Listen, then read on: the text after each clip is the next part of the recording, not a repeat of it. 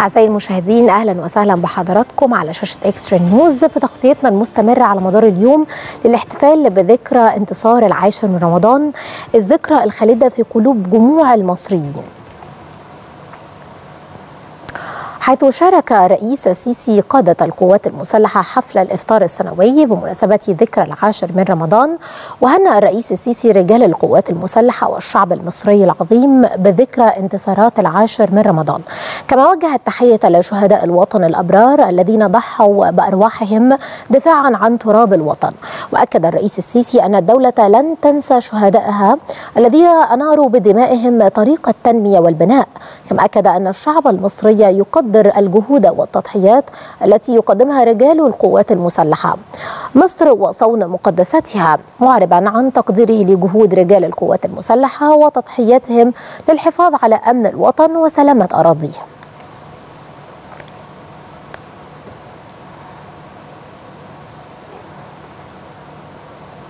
وللمزيد ينضم إلينا هاتفيا الكاتب الصحفي دكتور أسامة السعيد مدير تحرير جريدة الأخبار. يا دكتور أسامة برحب بيك في هذه التغطية على شاشة إكسترا نيوز وكل سنة وحضرتك طيب. طيبة ومصر كلها بخير وبنهنئ كل الشعب المصري والأمة العربية اولا بانتصارات ذكرى انتصارات أكتوبر المجيدة وبشهر رمضان المبارك. يعني حقيقة يا دكتور الدولة دايما المصرية حريصة على إن هي تكرم شهدائها وتبجلهم في كل الاحتفالات حقيقة يعني مش بس احتفالات انتصارات أكتوبر المجيدة أو انتصارات العاشر من رمضان، يعني بتشوف إزاي تاكيد الرئيس والقيادة السياسية دايما على دور الشهداء وقيمتهم عند الشعب المصري والقوات المسلحة. يعني اولا بالتأكيد هذا التكريم هو قيمة قيمة كبيرة اولا لأنه بيحيي مجموعة من المبادئ والمثل الأساسية التي يجب أن تظل حية في نفوس كل المصريين اولا لأن هؤلاء الشهداء هم خلاصة الوطنية المصرية هم خلاصة فكرة الانتماء الوطني.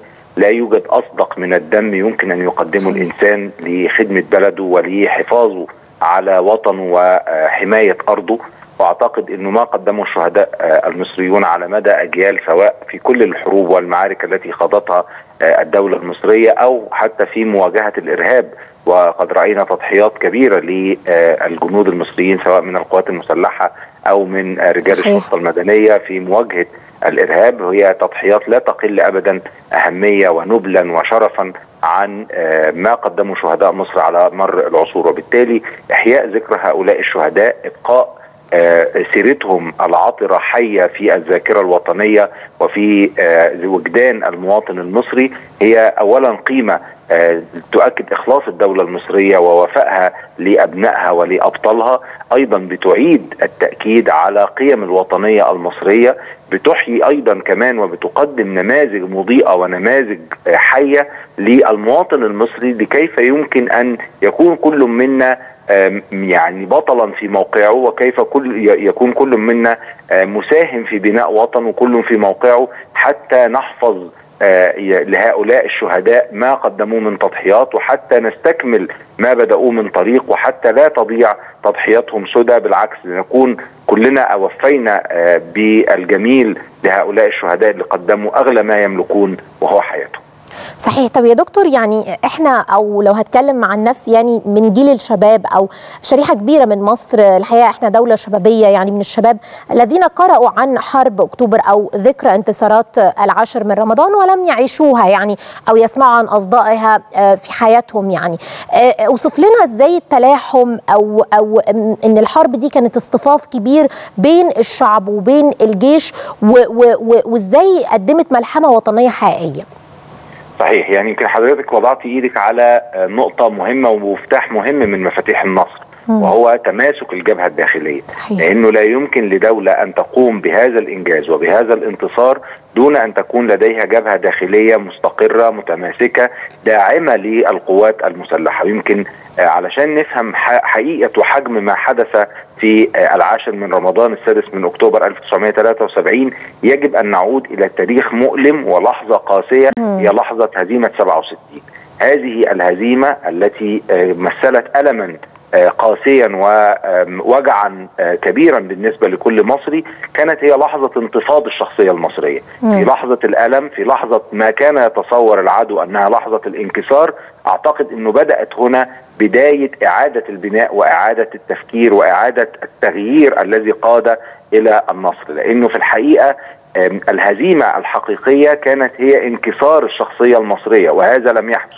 ما حدث كان انهزاما أو كان هزيمة عسكرية لكنها لم تصل إلى حد الهزيمة الشاملة وهي انكسار الشخصية المصرية أو انكسار الروح المصرية. والدليل على ذلك إنه بعد أيام معدودة من الحرب أو هزيمة 67 أو نكسة 67 كان هناك محاولات للالتحام مرة أخرى مع جيش العدو وحققنا انتصارات سواء في راس العش أو في غيرها من المعارك اللي اعادت مرة ثانية الثقة في القوات المسلحة تدمير بعض قطع البحرية الإسرائيلية اغراق المدمره إيلات غيرها من الانتصارات بعد أيام قليلة من هزيمة 67 وده كان مؤشر واضح على أن الشخصية المصرية لم تنكسر. أيضا مظاهرات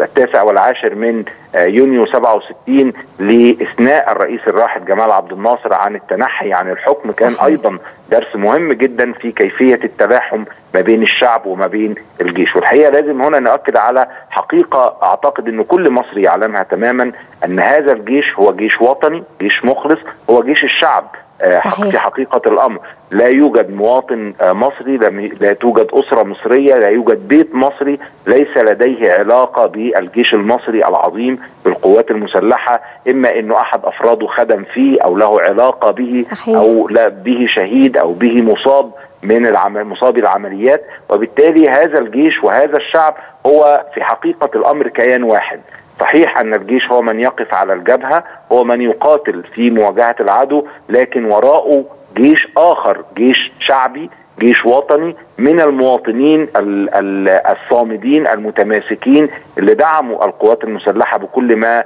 امتلكوا من قوة دعموهم معنويا دعموهم ماديا دعموهم في أصعب اللحظات حتى تحقق النصر. وبالتالي هذا النصر ليس فقط ملك للقوات المسلحة ولكنه ملك لكل مواطن مصري شريك في هذا النصر لأنه الحقيقة هذا هو انتصار الشعب المصري في المقام الأول. صحيح أن المقاتل المصري كان من يقف على الجبهة لكن كما أشرت كانت الجبهة الداخلية أيضا مسألة مهمة جدا وداعمة لصمود القوات المسلحة في مواجهة العدو وتحقيق الانتصار المجيد في أكتوبر.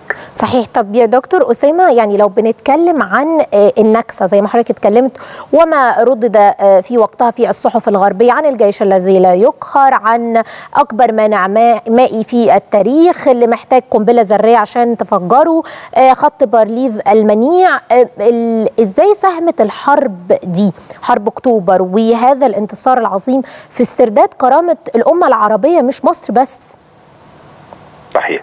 يعني اولا أنا بعتقد إنه حرب أكتوبر ورغم مرور خمسين سنة على هذه المعركة المجيدة لكنها لم تنل حقها حتى هذه اللحظة من التحليل ومن الدراسة الوافية لبيان كل أوجه الإعجاز فيها. أعتقد أنه أعظم ما في حرب أكتوبر أنها حرب نهاية الأساطير في الشرق الأوسط لأنه في النهاية كانت إسرائيل ومن وراء إسرائيل كانوا يحاولون أن يقيموا جدارا منيعا من الأساطير الكاذبة من الدعاية الزائفة من محاولة التهويل في القدرات الإسرائيلية كي تكون حاجزا نفسيا أمام المقاتل المصري والمقاتل العربي كي لا يسترد أرضه. واعتقد إن ده كان واضح جدا في حجم الدعاية الإسرائيلية والدعاية الغربية لتثبيط الهمم ومحاولة إثناء الجيوش العربية وفي مقدمتها بالتأكيد الجيش المصري عن فكرة الحرب وفكرة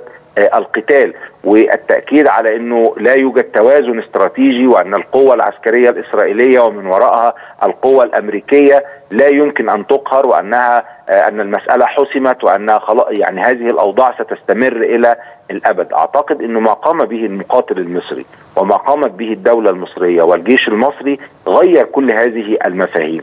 لا نتحدث هنا فقط بالمناسبة عن فقط انتصار عسكري. نحن نتحدث عن انتصار عسكري نتحدث عن انتصار قانوني نتحدث عن انتصار دبلوماسي لأنه حتى صحيح. البيئة الدولية في هذا التوقيت لم تكن مهيئة لخوض ال- الدولة المصرية والدولة السورية والأشقاء في سوريا لمعركة في مواجهة إسرائيل لأنه بالمناسبة ويجب هنا أن نستعيد التاريخ ونقرأ التاريخ بشكل جيد الولايات المتحدة استخدمت الفيتو أكثر من مرة لعرقلة التوصل إلى قرار من مجلس الأمن باجبار إسرائيل على الانسحاب من الأراضي المحتلة. مم. هذا يذكرنا بما يجري اليوم في قطاع غزة. في غزة. مم. يجب أن نتذكر أن نفس الأداء ونفس السياسة ونفس البيئة الدولية غير المواتية كانت موجودة قبل خمسين عاما. ولكن الإرادة المصرية والإرادة العربية استطاعت أن تفرض على الولايات المتحدة أن تلجأ هي إلى مجلس الأمن لطلب وقف إطلاق النار. هذه الأمور كلها تؤكد أن الدولة عندما تمتلك القدرة وتمتلك القوة يمكنها أن تتحدى حتى البيئة الدولية غير المواتية. وبالتالي ما حدث في أكتوبر كان انتصارا للإرادة المصرية انتصارا للتخطيط المصري استعادة للجينات الحضارية المجيدة في الشخصية المصرية وكما قلت تحطيم كل الأساطير التي حاول العدو أن ينسجها حول نفسه لكي يصنع حاجزا منيعا من ال- ال- الحرب النفسية كي لا تسترد ال- ال- الجيوش العربية الأراضي المحتلة. وأعتقد أن كل ده تم تدميره كما قال الرئيس الراحل آه، أنور السادات في ست ساعات كما أشار في خطابه الشهير في آه، أمام مجلس الشعب خطاب النصر في آه، أكتوبر 73 صحيح الكاتب الصحفي دكتور أسامة السعيد مدير تحرير جريدة الأخبار بشكرك شكرا جزيلا يا فندم على كل هذه الإضافات. يعني الحقيقة أنه آم، بتحتفل مصر بذكرى انتصارات العاشر من رمضان المجيدة الانتصارات التي برهنت على قوة وعزيمة القوات المسلحة المصرية والشعب المصري. المزيد هنتابعه مع حضراتكم في العرض التالي مع الزميل محمد أنصاري. مشاهدينا الكرام أهلا وسهلا بحضراتكم. تمر الأيام وتتعاقب السنوات ويبقى نصر أكتوبر المجيد يوم العزة والكرامة يوم النصر الذي سيظل خالدا في تاريخ الأمة يوم البطولات والأمجاد التي صنعها رجال القوات المسلحة بدمائهم الزكية في ملحمة عسكرية أبهرت العالم ودونت سطورها بأحرف من نور امتد شعاعه للإنسانية جمعاء. في الساعة الثانية وخمس دقائق ظهرا يوم السادس من أكتوبر في عام 1973 والموافق يوم العاشر من شهر رمضان المبارك. انطلقت أكثر من 200 طائرة حربية مصرية في ارتفاعات منخفضة للغاية من أجل تفادي الرادارات الإسرائيلية. لتعبر الطائرات قناة السويس وتستهدف مواقع العدو بالضفة الشرقية للقناة. الضربة الجوية المركزة استهدفت المطارات ومراكز القيادة ومحطات الرادار وبطاريات الدفاع الجوي بالإضافة إلى تجمعات الأفراد والمدرعات والدبابات والمدفعية والنقاط الحصينة في خط بارليف وأيضا مخازن الذخيرة وبأقل خسائر حققت الضربة الجوية أهدافها. في الوقت ذاته بدأ ألف مدفع من مختلف الأعيرة أقوى تمهيد ناري في التاريخ حيث قصفت المدفعية التحصينات والأهداف الإسرائيلية شرق القناة بشكل مكثف تحضيرا لعبور المشاة. وأطلقت المدفعية 10500 دانة في الدقيقة الأولى من بدء ضرب المدفعية ما يعني إطلاق 175 دانة في كل ثانية. من جانبها قامت البحرية المصرية بقذف أهداف العدو على طول الجبهة لتفقد إسرائيل السيطرة الكاملة على الموقف. وتزامنا مع ذلك بدأت طلائع قوات الصاعقة والمشاة المسلحة بالأسلحة الخفيفة ومضادات الدبابات في اقتحام قناة السويس المانع المائي العسكري الأصعب مستخدمة نحو ألف قارب اقتحام مطاطي وتسلقوا الساتر الترابي الذي انهار على أيدي سلاح المهندسين باستخدام المياه فقط. هذا ونجحت القوات المسلحة في عبور قناة السويس والتوغل شرقا داخل سيناء التي كانت تحتلها إسرائيل منذ حرب 1967 وذلك بعد تحطيم خط بارليف أقوى خط دفاعي في التاريخ الحديث والذي اعتبره العسكريون الغربيون أنه لا يمكن تدميره إلا إذا استخدمت القنبلة الذرية. لكن القوات المسلحة استطاعت تدمير هذا الخط خلال ساعات من بدء الحرب ليفقد العدو توازنه في ست ساعات. ورفع العلم المصري على الضفة الشرقية للقناة. التضحيات والبطولات التي قدمها جيل أكتوبر العظيم ستظل خالدة في وجدان المصريين. وشاهدا على صلابة الشعب ليعكس نصر أكتوبر المجيد قوة وإرادة المصريين في استعادة حقوقهم وتمسكهم بسيادة الوطن وحفظ ترابه وصون كرامته. مشاهدينا كان هذا عرضا موجزا حول البطولات التي قام بها أبناء الوطن في نصر أكتوبر المجيد والذي صادف اليوم العاشر من شهر رمضان. شكرا على طيب المتابعة. وللمزيد مشاهدينا الكرام بينضم إلينا الكاتب الصحفي عماد الدين حسين رئيس تحرير جريدة الشروق وعضو مجلس الشيوخ. أهلا بحضرتك يا أستاذ عماد وكل سنة وحضرتك طيب. كل سنة وحضرتك وكل المشاهدين وكل المصريين والعرب بخير بمناسبة هذا ذكرى هذا الانتصار العظيم. يعني ذكرى هذا الانتصار العظيم والعاشر من رمضان وانتصارات أكتوبر المجيدة. يعني حضرتك إزاي بتشوف الرئيس السيسي توجيه التحية الدائمة لشهداء مصر الأبرار في كل احتفال؟ بتشوف ده إزاي؟ هو ده التقدير الطبيعي لأنه يعني لولا الشهداء الذين سقطوا في ساحات الشرف ولولا المصابين ما كانش هيتحقق نصر اكتوبر نصر أكتوبر. هو الأكبر انتصار عربي على إسرائيل منذ طبعا نعلم إن مصر خاضت أربع حروب من أجل القضية الفلسطينية في سنة 48 56 67 ثم 73 وهناك حرب يعدها العسكريون حرب خامسة وهي حرب الاستنزاف لأنها بدأت بعد هزيمة يونيو مباشرة واستمرت حتى بداية حرب أكتوبر مع بعض التقطعات. كل هذا يعني المسيرة من 48 ل 73 الجنود المصريون يعني حاربوا في فلسطين في 48 وفي سيناء في بقية الحروب.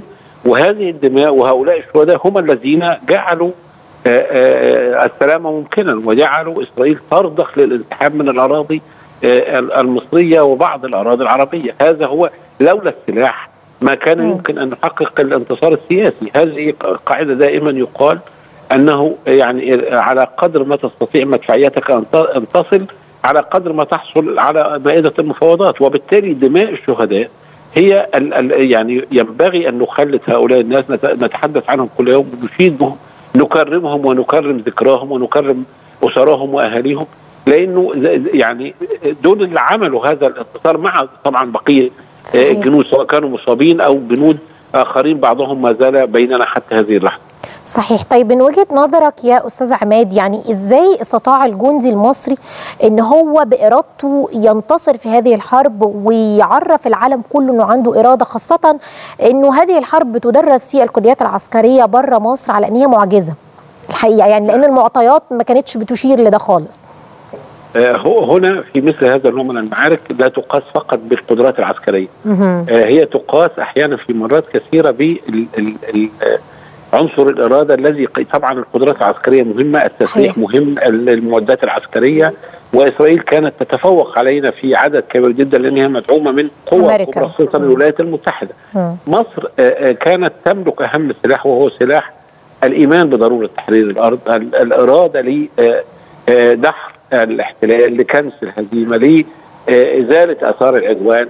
هذه هذا السلاح لم يكن متوفرا للإسرائيليين وبالمناسبة هذا هو السلاح أيضا الذي استعملته المقاومة الفلسطينية مع فارق التشبيه في 7 أكتوبر. أن تكون مؤمنا بأنك صاحب حق. ده جزء مهم جدا لا يفهمه الغزاة والمحتلون. عند لحظة معينة يشعرون بسكره النصر تعاملوا مع مصر أنها جثة هامدة وأن وتبجح بعض قادتهم كثيرا وبمهارة شديدة تمكنت مصر وقيادتها في هذا الوقت من خداع استراتيجي غير مسبوق لإسرائيل ظنت أنها لن أن مصر لن تحارب.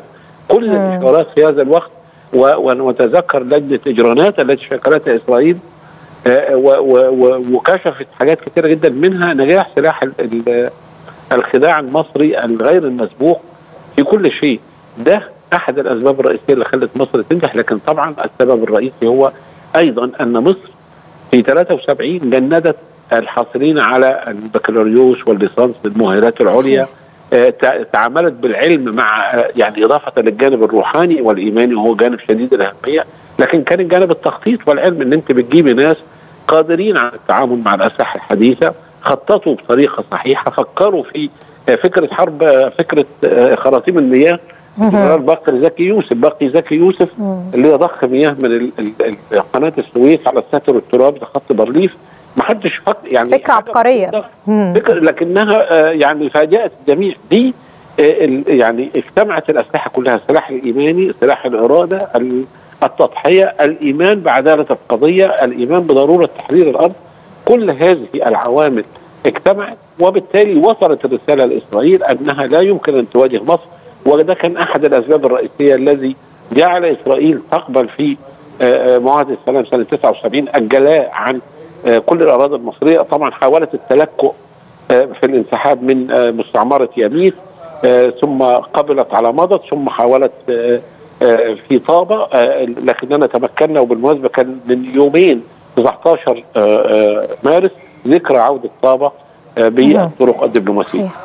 طيب دايما إحنا بنشوف إنه تلاحم الشعب مع القيادة السياسية، الشعب المصري دايما بيثبت إن هو في أوقات المحن والأزمات هو جنب جيش وجنب قيادته السياسية، إن هو بيدعم البلد حتى لو هيكون على حساب قوته أو ولاده، إزاي حضرتك يعني شفت ده أثناء الحرب أو سمعت عنه أو قريت كتابات؟ يعني إحنا يمكن جيل الشباب ما احتكش كتير بالأيام دي بنقرأ عنها بنشوف أعمال فنيه عنها. ولكن أكيد يعني الجيل اللي عاش الأوقات دي وشاف مثلا والدته ووالده عمه ناس من عيلته ساهموا بالتبرعات وقتها للجيش بأنه كانوا زي ما بيقولوا ربط الحزام بيقللوا من استخداماتهم لكل شيء فدا الشعب الجيش وفدا القيادة السياسية علشان تحصل الحرب. نعم هذا طبعا سؤال مهم. أنا كنت في هذا الوقت كنت في ثالثة ابتدائي وفاكر كويس. رحنا المدرسة ورجعنا. كان يوم سبت آه 10 رمضان طبعا 6 أكتوبر 73 آه لم أكن أدرك ادراكا كاملا لكن فاكر كويس جدا إنه الرجال كانوا يرقصون في القرية في شوارع القرية في أسيوط آه ابتهاجا بهذا النقد. آه لكن ما قرأته لاحقا بعد ذلك هو إنه ال ال يعني ان, ده آه إيمان حقيقي بالقضية إنه ده أسلوب العلم مع العمل مع الإيمان مع القيم لأن أنت لا تستطيعي فصل القيم التي تم يعني ترسيخها لدى الناس إن هو يبقى شايف إن هو هي هيتحمل الجوع والعطش حتى وكل مظاهر الحياة الخشنة من أجل توفير ثمن استيراد الأسلحة على سبيل المثال المصريون وقفوا عانوا كثيرا بالمناسبة في صحيح. الفترة من 67 إلى 73 الناس بالمناسبة اللي اتجندت قعدت فترات طويلة يعني من دخل الجيش مجندا في 67 ظل موجودا في التجنيد حتى سنة 74 على الأقل لحد فقد فض الاشتباك. المجتمع بأكمله ضحى الجيش مع الشعب مع الشرطة الناس تحملت مرارة وشظف العيش من أجل قضية كبرى وده طبيعي جدا في الشعب المصري إنه يتحمل ويدفع صحيح. ثمنا كبيرا طالما أنه آمن بأن هذه قضية وطن تستحق التضحية. بالتاكيد الأستاذ عمادة الدين حسين رئيس تحرير جريدة الشروق وعضو مجلس الشيوخ. بشكر حضرتك. شكرا جزيلا يا فندم على كل هذه الإضافات. بتحتفل مصر بذكرى انتصارات العاشر من رمضان والاهتمام بشبه جزيرة سيناء والنهوض بمستوى الخدمات المقدمة للمواطنين هناك في شبه الجزيرة الغالية. والحقيقة أنه ده لم يكن أمر هين خالص مع الإهمال اللي عانت منه سينا على مدار عقود ماضية وتفشي التنظيمات الإرهابية والإجرامية إلا أن أولت الدولة المصرية بتوجيهات طبعا من الرئيس السيسي اهتماما بالغا لتطهير شبه الجزيرة من البؤر الإرهابية والشروع في عملية تنموية شاملة في كل المجالات. نتابع. تحتفل مصر كل عام في العاشر من رمضان بذكرى انتصار حرب أكتوبر المجيدة تلك الحرب التي انتصر فيها الجيش المصري على العدو الإسرائيلي واستعاد فيها أرض الفيروز ليحقق الجيش المصري أكبر نصر في العصر الحديث. الجيش المصري الذي استطاع تحطيم المستحيل رغم كل المعوقات التي رددها البعض حينها وروجت لها القوى العظمى. حيث قام الجنود الصائمون في العاشر من رمضان بعبور خط القناة لتبدأ موجات من الجيش المصري بالعبور تدريجيا وذلك في منظومة عمل تم إعدادها بشكل متقن للغاية. وخلال الدقائق الأولى للحرب نفذت أكثر من 200 طائرة حربية مصرية ضربة جوية على الأهداف الإسرائيلية بالضفة الشرقية للقناة. بينما بدأت المدفعية بقصف التحصينات الإسرائيلية تحضيرا لعبور المشاة فيما تسللت عناصر سلاح المهندسين والصاعقة إلى الشاطئ الشرقي للقناة لفتح الثغرات في الستر الترابي ليعبر القناة ألف ضابط وثلاثون ألف جندي من خمس فرق مشاة. ليتحقق النصر الكبير الذي شكل حدثا فريدا بل نقطة تحول في مسار الصراع العربي الإسرائيلي. أرض الفيروز التي لطالما كانت مطمعا لأعداء مصر وضعت الدولة المصرية تنميتها وتحسين حياة سكانها على رأس أولوياتها. ولم تدخر يوما جهدا في سبيل تنميتها من خلال استراتيجية شاملة متعددة الأبعاد. وعبر رحلة طويلة وشاقة دفعت فيها مصر الكثير من التضحيات ودماء أبنائها الشرفاء من القوات المسلحة والشرطة وأبناء سيناء أيضا.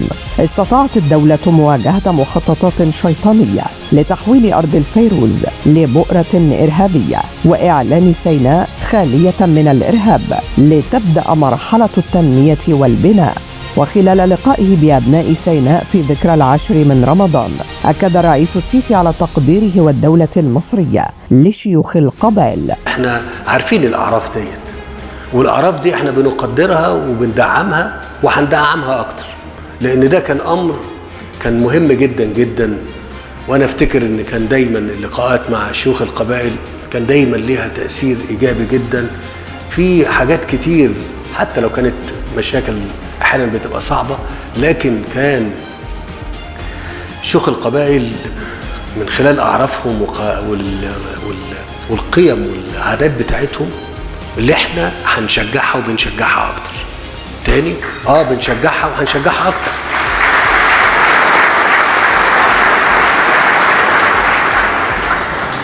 ده أمر إحنا زي ما بقول أنا كنت في يوم من الأيام مسؤول في في يعني في المخابرات الحربية وكنت بلتقي مع شيوخ القبائل وحتى أثناء يعني وجودي كوزير للدفاع كنت بلتقي معاهم وأتكلم وفي مشاكل نحلها وفي موضوعات رايحة جاية بينا وده أمر أمر طبيعي. فأنا بقول تاني إن إحنا قوة ومكانة شيوخ القبائل إحنا بندعمها وبنعززها وهندعمها وهنعززها أكتر. صحيح مش بس هنا حتى في كل يعني يعني في في الغربية هنعمل كده. وفي الجنوبية هنعمل كده. في دور بيقوم بيه دلوقتي يعني في هذا المجال لكن إحنا أنا بأكده إن إحنا كدولة هنأكد ونرسخ. ومش هقول نستعيد لأن الدور موجود لكن هنعززه أكتر من كده. أهالي سيناء بدورهم يؤكدون أن عودة الحياة الطبيعية والتنمية والاهتمام بالمشروعات التنموية الاقتصادية الصناعية والزراعية والسياحية داخل أرض الفيروز بالمحافظة بمثابة الفخر الكبير لمصر قيادة وحكومة وشعبا بانتصار الدولة بكافة مؤسساتها وفي مقدمتها القوة المسلحة والشرطة المدنية على قوى الشر والظلام والإرهاب. وللمزيد ينضم إلينا الكاتب الصحفي الأستاذ جمال رائف. أهلا وسهلا بحضرتك على شاشة اكسترا نيوز يا فندم في هذه التغطية وكل سنه وحضرتك طيب. حضرتك وتحياتي لكل السادة المشاهدين ورمضان كريم وكل عام وحضرتك والسادة المشاهدين بخير. أهلا بيك يعني بعد مرور كل هذه الأعوام بنتكلم عن 50 عاما على انتصارات أكتوبر وعلى ذكرى العاشر من رمضان وهذا الانتصار العظيم بتشوف إزاي تحولت سيناء من ساحة حرب لأرض للتنمية يعني بنتكلم عن أرض الفيروز وتنمية كبيرة على هذه البقعة الغالية من مصر. في الحقيقة من معركة التحرير لمعركة التعمير ملحمة مصرية. والدولة المصرية في الحقيقة خلال العشر سنوات الماضية أكدت إن التنمية في سيناء هي أولوية على أجندة القيادة السياسية المصرية. وهنا أتذكر جملة مهمة للغاية للسيد الرئيس عبد الفتاح السيسي حينما تحدث وقال إن عوائد التنمية الخاصة بسيناء, هي أمن قومي. وبالتالي نعم نحن نعمر سيناء يتم ضخ فيها يعني كميات كبيرة جدا من الاستثمارات والبنية التحتية والبنية اللوجستية وأيضا الكثير من يعني الفرص الآن للعمل وللزراعه وللصناعه وغيرها من الأمور وهي لها عوائد اقتصادية مهمة ولكن يبقى العائد الحقيقي والعائد الأهم هو الأمن القومي المصري وبالتالي الدولة المصرية أولت اهتمام كبير جدا لفكرة التنمية في سيناء واعتبرت إن التنمية هي العبور الثاني والعبور بسيناء أيضا إلى الجمهورية الجديدة. وبالتالي أنا أعتقد إننا يعني شاهدنا خلال الفترة الماضية وما زلنا نرصد ونشاهد حتى الآن إن هناك إرادة سياسية حقيقية لتنمية سيناء وإيجاد تنمية شاملة على أراضي سيناء، كنا نتحدث في الماضي فقط عن السياحة، نتحدث عن بعض أوجه العمل مثلا في التعدين، ولكن الآن نتحدث عن تنمية شاملة، نتحدث عن صحراء تربيون والزراعة وأيضا الصناعة وأيضا البنية اللوجستية ميناء العريش وغيرها من الأمور، وبالتالي ما أنجزه الآباء في آه يعني النصر العظيم في 73 أيضا الأحفاد الآن والأبناء الآن يكملوا هذه المسيرة من خلال هذه التنمية. ونحن الآن نتذكر هذا النصر الأعظم في الحقيقة لأنه بالفعل هو النصر الأعظم في التاريخ الحديث. هذا النصر الذي في الحقيقة استطاعت الدولة المصرية من خلاله أن تسترد الأرض وتحول الصراع إلى سلام وتحقق السلام على أرض الواقع. هي الآن أيضا بتسير على نفس النهج وبتحقق انتصارات في المعارك الحديثة وتنتقل أيضا لفكرة التنمية والإعمار كأحد أدوات النصر في هذه المعارك الحديثة. وبالتالي الدولة المصرية في الحقيقة أنجزت الكثير والكثير فيما يتعلق بالحفاظ على سيناء وأعتقد إن التنمية في سيناء أحد أهم المفردات للحفاظ على هذا النصر العظيم الذي تحقق في الحقيقة بإعجاز وإنجاز مصري ونحن الآن يعني في هذه الذكرى العطرة وحتى في هذه الظروف والمتغيرات الإقليمية والدولية علينا أن نفخر بأنفسنا لأن استطعنا أن نحافظ على تراب الوطن الغالي وأن نحافظ على قدسية الدولة المصرية وعلى سيادتها وأن ندرك إننا ضحينا ويعني الأجيال التي سبقتنا ضحت تضحيات كبيرة جدا وحتى الأجيال الحالية لا ننسى تضحيات الشهداء الذين أيضا تصدوا للإرهاب في سيناء ودحروا فلول الإرهاب في سيناء. اذا الملحمة كانت وما زالت مستمرة وهناك إرادة وعزيمة وطنية للحفاظ على سيناء بل التعمير والتنمية أيضا للوصول إلى الحلم بأن تكون سيناء أيضا إضافة قوية للاقتصاد المصري وهذا ما نشهده الآن. أنا أعتقد إن احتفالنا الآن بهذه الذكرى العاطرة وبهذا النصر العظيم خاصة في ظل في ظل هذا التوقيت المهم. يجعلنا أيضا نطمئن أننا عازمون وقادرون على الحفاظ على هذا المكتسب العظيم مكتسب نصر 73 والمضي به أيضا إلى آفاق أرحم صحيح يعني إنه مش بس بنوجه التحيه لآبائنا وأجدادنا اللي انتصروا في هذه الحرب المجيدة ولكن كمان لإخواتنا اللي ضحوا بأرواحهم ويعني ما زال أسرهم بيقدموا تضحيات علشان فكرة العملية الشاملة في سينا وتطهير سينا من الإرهاب اللي كانت يعني بتعاني منه بشكل كبير جدا وتأمين أهالينا هناك في سينا. بتشوف إزاي المشروعات مشروعات كمان يعني مش بس بنتكلم عن زي ما حضرتك قلت مشروعات تهتم بالزراعة ولكن فقط هناك مشروعات تهتم بالتعليم والصحة والإسكان وبناء الأنفاق وما إلى ذلك. بتشوف إزاي المشروعات دي وإزاي إصرار القيادة السياسية على هذه التنمية والمشروعات وإقامتها في أرض سيناء الغالية؟ يمكن على أرض سيناء الآن يتحقق المفهوم الذي له علاقة بفكرة التنمية الشاملة،. وحينما نتحدث عن التنمية الشاملة فنحن نتحدث عن البنية التحتية، البنية التنموية، البنية اللوجستية،. عن الزراعة، عن الصناعة، عن أيضا بناء الإنسان، وهنا ذهبت الدولة المصرية لأيضا بناء مراكز الشباب وأيضا النوادي وحتى المراكز الثقافية والمناطق الحضرية يعني حتى حينما ذهبت الدولة المصرية لإنشاء المجتمعات العمرانية نفذت فكرة المجتمعات العمرانية داخل سيناء بالشكل الحضاري الذي أيضا يحافظ على التراث المصري في هذه.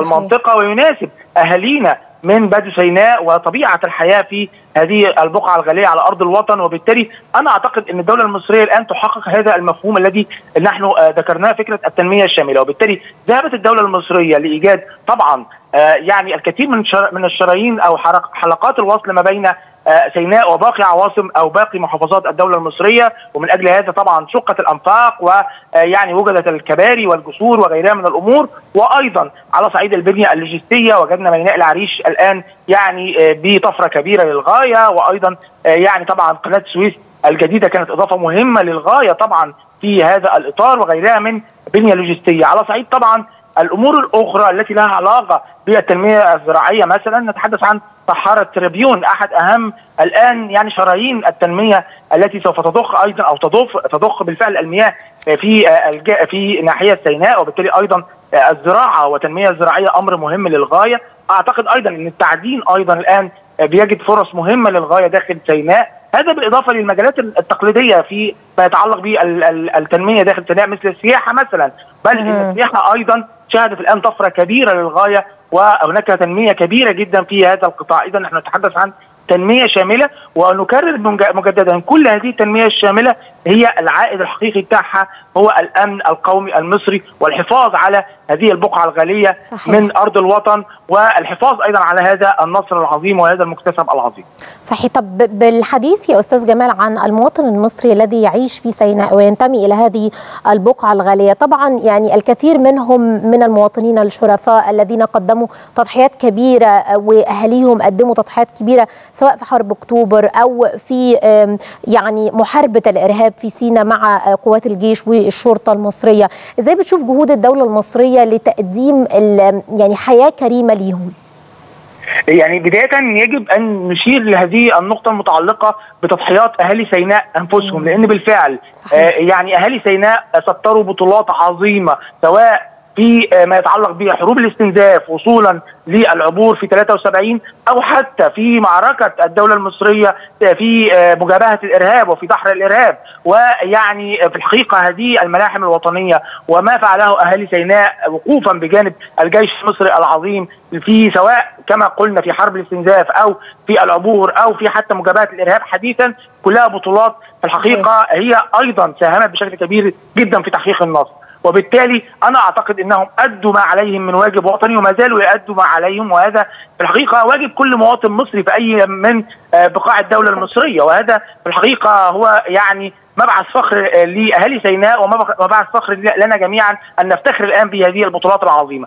الأمر الآخر طبعا الدولة المصرية الآن بتعمل على فكرة بناء الإنسان في كافة ربوع الدولة المصرية وطبعا سيناء في قلب الدولة المصرية وبالتالي أنا أعتقد إن فكرة بناء الإنسان بتجد طريقها الآن داخل سيناء سواء من خلال بناء المدارس بناء المراكز الشباب المستشفيات المراكز الصحية وغيرها من الأمور تنمية المناطق الحضرية والمجتمعات العمرانيه الجديدة توفير فرص العمل. ويمكن توفير فرص العمل من أهم يعني أيضا المجالات الخاصة ب طبعا أن يكون هناك حياة كريمة للمواطن في سيناء وبالتالي عملت الدولة المصرية على أن يكون هناك مشروعات كثيفة العمالة. وأيضا يعني رأينا نداءات من الدولة المصرية أيضا أن تشارك الشركات الموجودة في سيناء والتي هي أصحابها من أبناء سيناء أيضا في هذه المشروعات القومية وهذا يحدث بالفعل. وبالتالي أنا أعتقد إن أهالي سيناء الآن يجدون المزيد والمزيد من فرص العمل وأيضا يجدون الآن على أرض الواقع الكثير من مسارات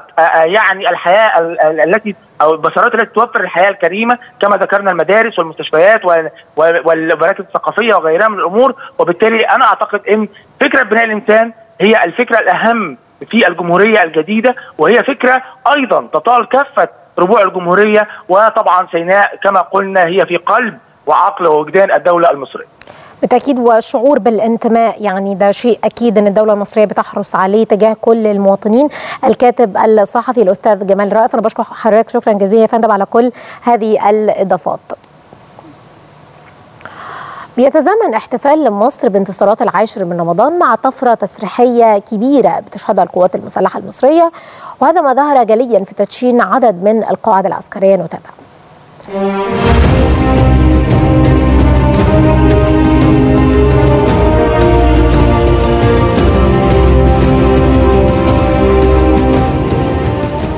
طفرة تسليحية غير مسبوقة شهدتها القوات المسلحة بمختلف أفرعها خلال السنوات العشر الأخيرة في إطار حرص القيادة السياسية على بناء قوة عسكرية تحقق الردع والقدرة على الدفاع عن أمن مصر القومي وحماية مقدرات الأمة المصرية ومصالحها في الداخل والخارج.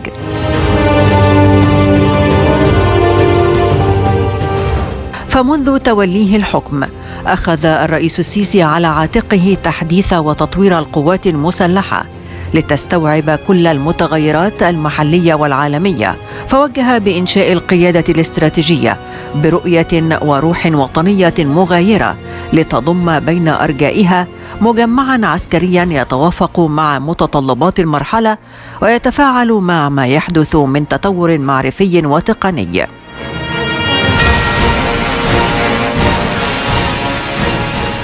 مضت خطوات الرئيس السيسي بالدولة المصرية على درب جديد في توطين الصناعات العسكرية وتسليح عناصر القوات المسلحة بالعلم والمعرفة.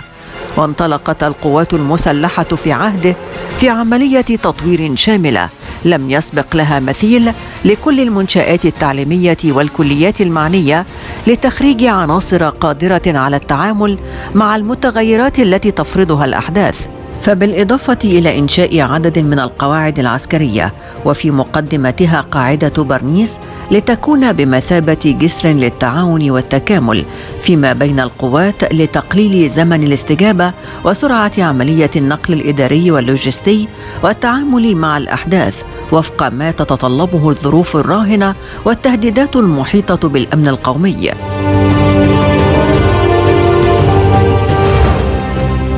لم يتوقف الأمر عند ذلك فبخطى متسارعة مضت القيادة العامة للقوات المسلحة في اتخاذ كل ما يلزم لبناء قدرة هائلة للقوات المسلحة وتزويدها بأحداث النظم العالمية وتنويع مصادر التسليح وتوطين الصناعات العسكرية ليحقق الجيش المصري طفرة غير مسبوقة في التسليح العسكري لم تحدث من قبل بريا وجويا وبحريا.